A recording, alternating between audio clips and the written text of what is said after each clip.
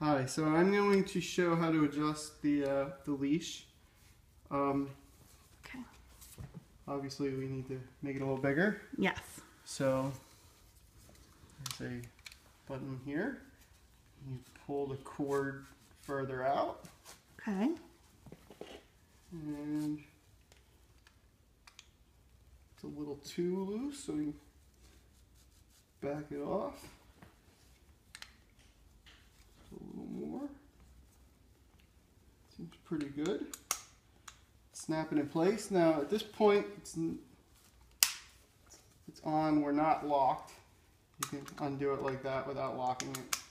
So it, you can still lock him like this, but if you want to lock it, key in, turn it. There you go. Now it doesn't come out. So he is locked in, so don't lose your key. Again, unlock it. Press the button. You can see it's still in place, but now it's unlocked. So when you press the button, you can unleash him. So he's ready to go for a walk. Okay, great. Thanks.